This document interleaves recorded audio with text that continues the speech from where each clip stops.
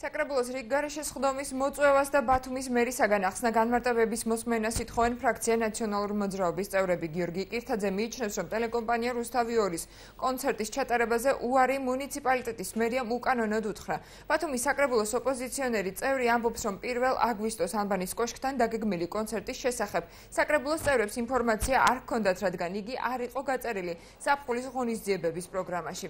კირთაძე რიგგარეშე სხდომის მოწვევას უახლოეს მომავალში ხალხში მაქსიმუმ მორშაბათამდე ითხოვს. საკრებულოს აპარატის იურიდიული განყოფილების უფროსი კი ამბობს, რომ საკრებულოს თავმჯდომარე გადაწყვეტილებას კანონით გათვალისწინებულ ვადებში მიიღებს. თუ კი ირაკლი ჭეიშვილის ხდომას ერთი კვირის ფარგლებში არ ჩანიშნავს, საკრებულოს უმრავლესობას აქვს უფლება იგი ჭეიშვილის გარეშე ჩაატაროს. ბათუმის მერი კი ოფიციალური ვიზიტით ბელორუსში იმყოფება და პრესცენტრის ცნობით ქალაქში სავარაუდოდ 4 აგვისტოს დაბრუნდება.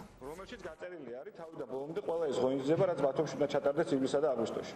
ამ პროგრამაში 1 აგვისტოს ღონისძიებებში ანბანის კოშკთან მითითებული არ ყოფილა არც ერთი აქტივობა. დღეს გადავწყვიტეთ ფრაქციის სახელით მიმართოთ ბათუმის საკრებულოს თავმჯდომარეს, გამოიყენოთ კანონით მინიჭებული უფლება და მას მოვთხოვოთ დაუყოვნებლივ რიგარეშე სხდომის მოწევა.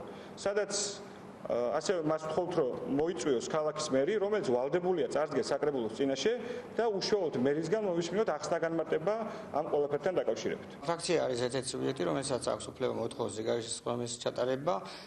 ფრაქციის განცხადება დარეგისტრირებულია კანცელარიაში გაივლის რეგლამენტის გათვალისწინებულ პროცედურას და კანონმდებლობით დადგენილი ვადაში ანუ ერთი კვირის ვადაში საკრებულოს თავმჯდომარე მიიღებს გადაწყვეტილებას რიგარის სხდომის მოწვევის ანუ მოწვევაზე უარის შესახებ ამ ეტაპზე ეს გადაწყვეტილება Terima kasih.